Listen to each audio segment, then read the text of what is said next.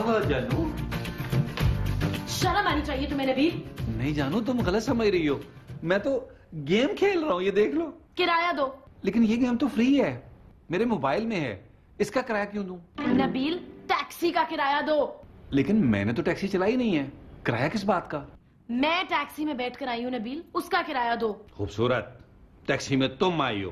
किराया तुम दोगी। नबील? खूबसूरत तुम जानती हो मैं कितना असूल पसंद आदमी हूँ। टैक्सी में तुम बैठ के आई हो असूलन किराया तुम्हें देना चाहिए। अच्छा? हाँ। इस घर में तुम रहते हो ना? तो फिर किराया मेरे पापा क्यों देते हैं? क्योंकि वो एक असूल पसंद आदमी है। सिंपल। गॉड क्या हुआ डार्लिंग? पानी लाऊं? नबील तुम्हें मेरा जरा भी ख्याल नहीं है। ख्याल है इसीलिए तो पूछ रहा हूँ। पानी लाऊं? नबील मैं पूरा पूरा दिन गर्मी में टैक्सी में घूमती रहती हूँ तुम घर पे बैठ के गेम खेलते हो। तो क्यों घूमती हो टैक्सी में?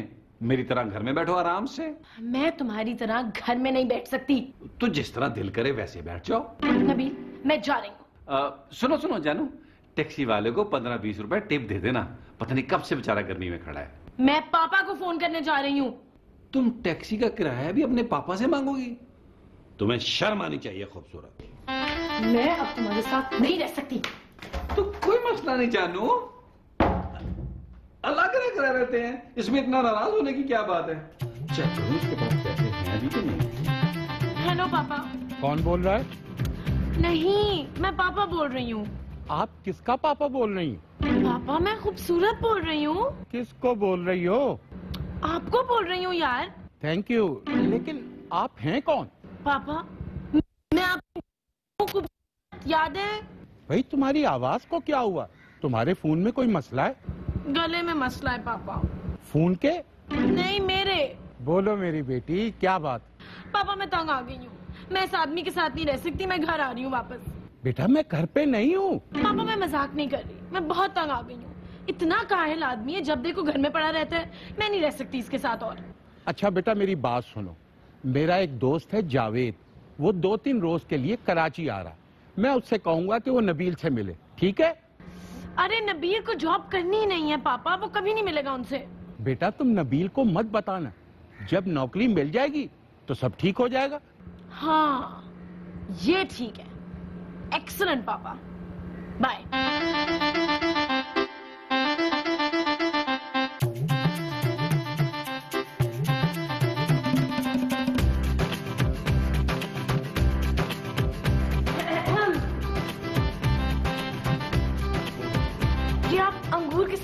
रही हैं माँ जी?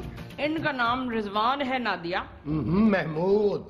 इनका नाम रिजवान है महमूद। देखिए मुझे आप दोनों से एक बहुत ज़रूरी बात करनी है। ये ज़रूरी बात क्या होती है? जो ये करने वाली है। आपको कैसे पता चला ये क्या करने वाली है? प्लीज़ आप लोग एक दफ़ा सुन तो ले। हाँ बोलो। हाँ। हैं? अरे तुम बोलो यार। मेरे पापा के दोस्त आ रहे हैं। कहाँ? हमारे घर और कहाँ? मैं अपने घर में किसी भी किस्म की कोई पार्टी नहीं होने दूँगा। तो उनका अपना घर नहीं है? उधर इंतज़ाम नहीं हो सकता? अरे यार मेरे पापा के दोस्त नबील को नौकरी देने आ रहे हैं। घर पे? जी हाँ। खबरदार मेरा पुत्र घर पे काम नहीं करेगा। ऑफ़िस में दफ्तर में जाके काम करेगा। माँ जी वो यहाँ नबील से मिलने आ रहे हैं लेकिन देखिए नबील को ये नहीं पता चलना चाहिए। ये क्या? क्या अंकल उसे नौकरी देने वाले हैं। दस बारह हज़ार की नौकरी वो नहीं करेगा। पचास हज़ार की नौकरी है। क्या? पचास हज़ार? नबील नबील! ये क्या कर रही हो? बेटे को आवाज़ दे रही हूँ अपने। ओहो उसको पता नहीं लगना चाहिए। कि मैं उसको आवाज़ दे रही हूँ? नहीं कि उसकी नौकरी लगने वाली है। बस एक दफ़ा अंकल मुतमिन हो जाए। वो तो मैं कर लूँगी। हैं? हाँ। चल यार चल उस पार चल। दुनिया नहीं है बबल।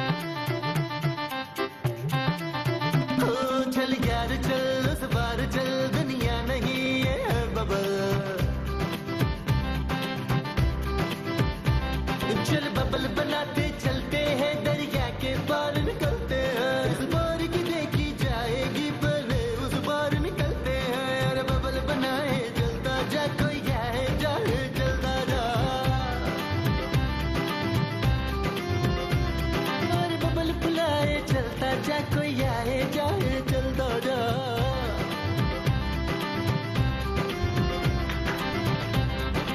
ये क्या है जूस है नबील जान। तुम्हारी तबीयत तो ठीक है ना? हाँ, बिल्कुल ठीक है। अब नबील वो पापा के एक दोस्त आ रहे हैं हमारे घर दो दिन के लिए। क्या? हाँ एक्चुअली वो होटल में रहना चाहते थे लेकिन मैंने कहा आप घर पे ही रहना हमारे। बहुत अच्छा किया खूबसूरत। हाँ। हाँ हमारा घर उन्हें होटल से आधे पैसों में पड़ेगा। नबील वो मेरे पापा के दोस्त हैं। तो क्या हुआ? तुम्हारे पापा तो नहीं है ना? नबील देखो उनके सामने उल्टी सीधी बातें ना करना आप तुम कोई। पता है पापा क्या कह रहे थे? बहुत सखी आदमी है बहुत बड़ा दिल है। अगर वो खुश हो जाए ना किसी से तो वो महँगे से महँगा गिफ्ट देते हैं। कब आ रहे हैं? शाम को। अच्छा।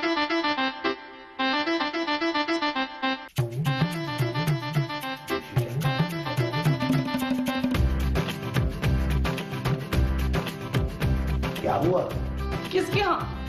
मुमताज़। मुमताज़ के यहाँ?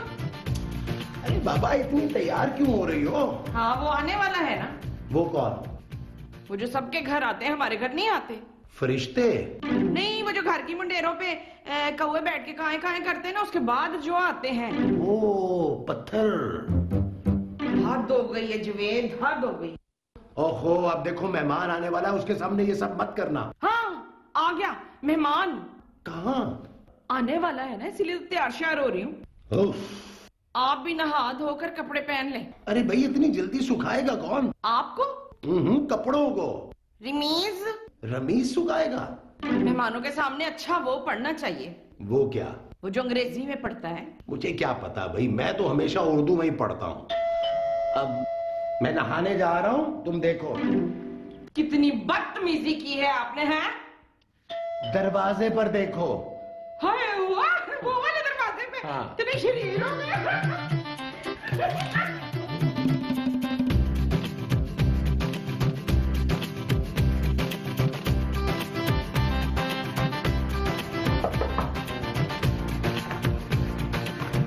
कौन हो भाई? आप कौन है?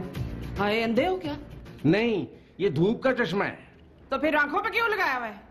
देखने के लिए? तो क्या आँखों पे लगाने से नज़र आता है और हाथ में पकड़ो तो गायब हो जाता है? मुझे खूबसूरत से मिलना है। हाँ बोलो।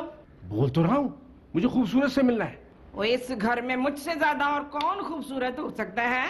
अरे आप हैं कौन? मैं इस घर की वो हूँ। वो कौन? वही जो मालक की होती है। नौकरानी।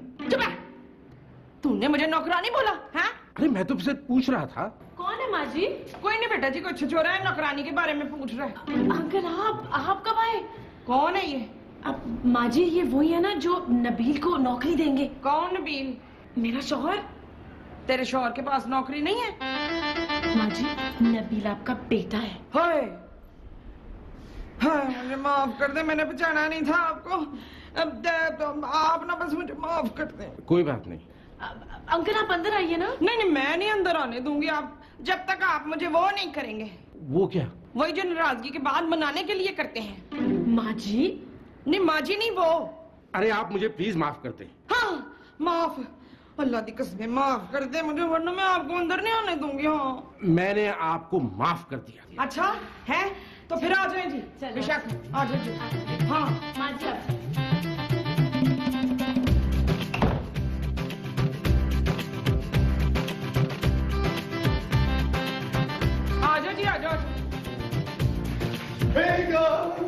मैं नहाया।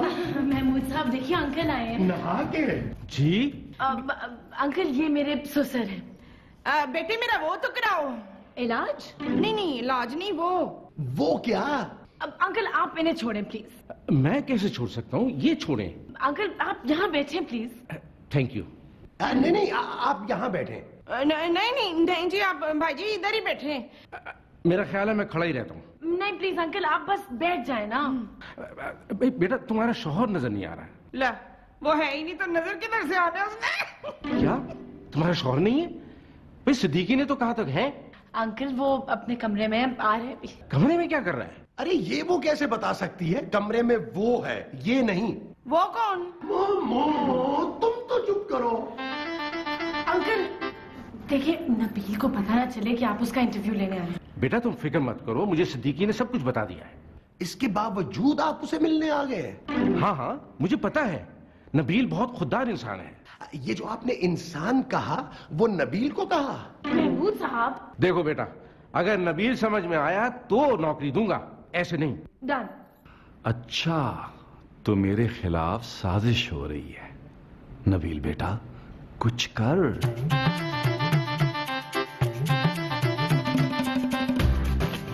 नबील देखो कौन आया है। तुम चारों में से? ये राइटर लिखता ही ऐसे है। नबील जावेद अंकल आए तुमसे मिलने। अरे कैसे हैं अंकल आप? क्या हाल हो गया आपका? मैं ठीक हूँ तुम सुनाओ। सबके सामने? चलो अकेले में बात कर लो।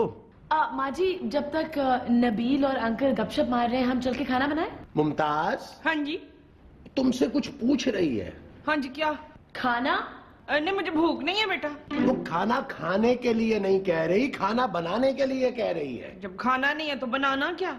अंकल आप क्या पसंद करेंगे खाने में? रशियन या फ्रेंच? हेलो अंकल खाने में पूछ रही है। इटालियन। हाँ हम्म तुम चुप रहो तुम देसी हो। अच्छा। एक्सक्यूज मी क्या कर रहे हो आजकल मत पूछे अंकल। बताओ यार। एक्चुअली uh, अंकल मैंने ना एक नई गेम इंस्टॉल कराई है इस मोबाइल में। वो खेल रहा हूँ आजकल। कभी तुम्हें नौकरी की फ़िक्र नहीं हुई? किसकी नौकरी की? अपनी नौकरी की? लेकिन मैं तो नौकरी करता ही नहीं हूँ। फिर नौकरी की फ़िक्र कैसी? ज़िंदगी में कभी कुछ करने का सोचा होगा बेटा। शादी से पहले? अरे मैं काम की बात कर रहा हूँ। मैं भी बड़े काम की बात कर रहा हूँ अंकल। शादी से पहले बड़ी लड़कियाँ थी भाई के पास। तुम्हारे भाई के पास? नहीं नहीं मेरे पास। बेटा मैं जॉब की बात कर रहा हूँ। कभी तो सोचा होगा कि ज़िंदगी में क्या करना चाहते हो। हाँ अंकल मेरी बड़ी ख्वाहिश थी कि मेरी डीवीडी की दुकान हो और मैं किसी को डीवीडी किराए पे ना दूँ। क्या? जी। मोमो ये लो ये बना लो खाने में। किताब? हम्म किताब में जो लिखा है। जो? वो तो बकरे खाते हैं नसीम। एक ही बात है महमूद। बकरे महमूद खाते अरे बाबा मोमो इस किताब में जो लिखा है ना वो पका लो। अच्छा। हाँ! क्या हुआ? गलत किताब तो नहीं आ गई? अरे नहीं ये देखो ना ये तरकीब लिखी है। हम्म, मोमो ऐसे नहीं करो ना ये लो ये बना लो। ठीक है? जल्दी करो शाबाश।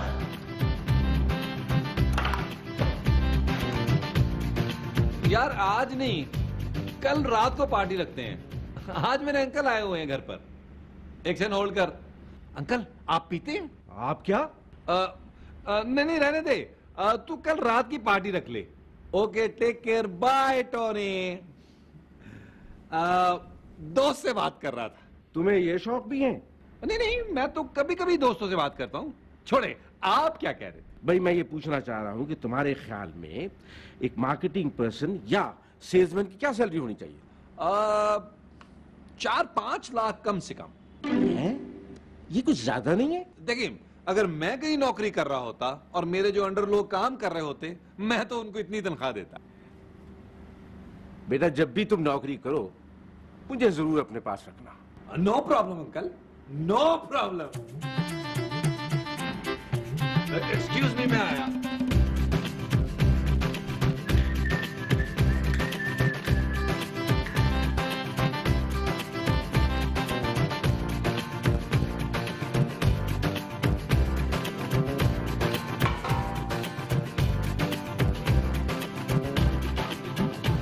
मुझे नौकरी देने आए थे। खुद एक महीना दफ्तर जाने के काबिल नहीं रहेंगे अंकल आप।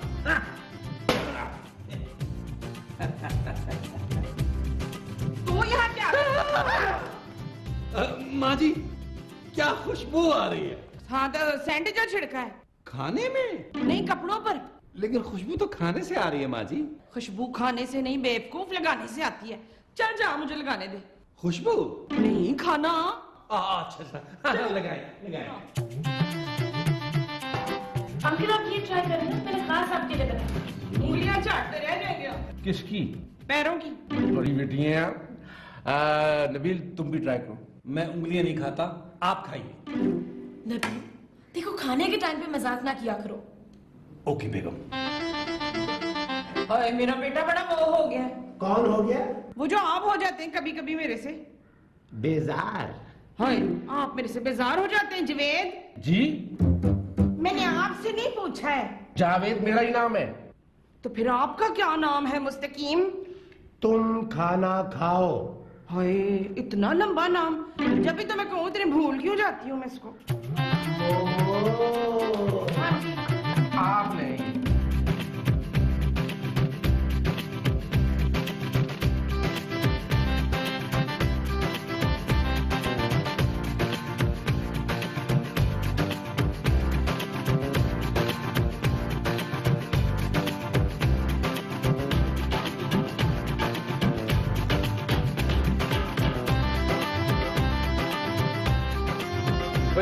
खाना बहुत अच्छा था। मोमो, आज बड़े अरसे के बाद ना बड़े मज़े का खाना का है। थैंक यू ये आवाज़ कहाँ से आ रही है? मुझे लगता है बाथरूम का टैप खुला छोड़ दिया किसी मैं बंद कर दिया। मुझे आपसे ये उम्मीद नहीं थी जेजे।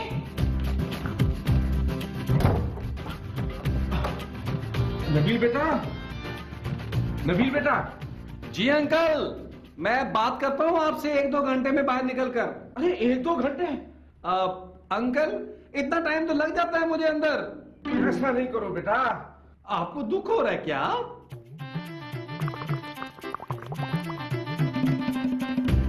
अंकल आप यहाँ क्या कर रहे हैं? कंट्रोल बेटा कंट्रोल। जी? मैंने वॉशरूम जाना है। तो अंकल दूसरे वॉशरूम में चले जाए। कहाँ है? आ, बाहर जाके लेफ़्ट आ, ओके।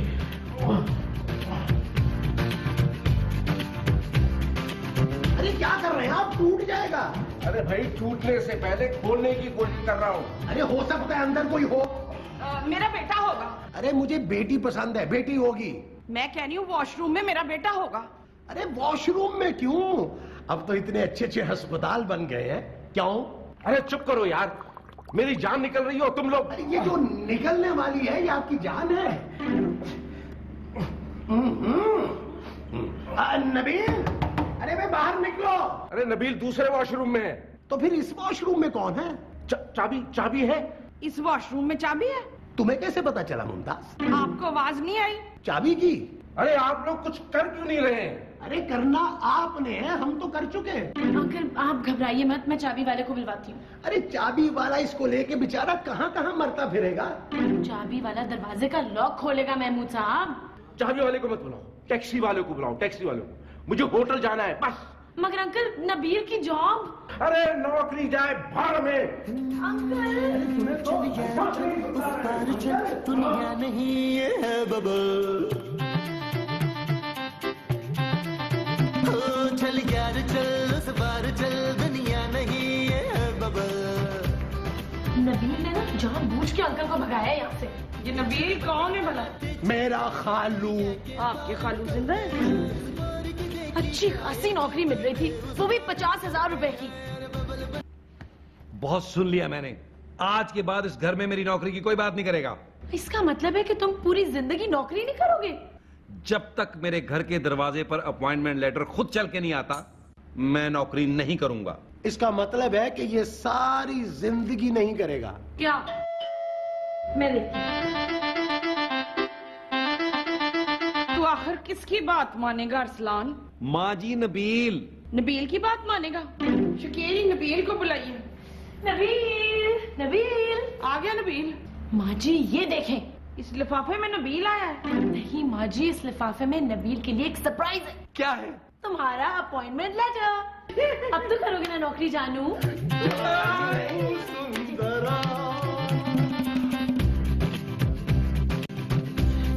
चल यार चल उस पार चल दुनिया नहीं है bubble Subscribe and press the bell icon to watch the latest dramas.